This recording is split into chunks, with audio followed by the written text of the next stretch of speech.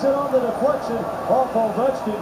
White battles with Corvo after the whistle, and Chimera pairs up.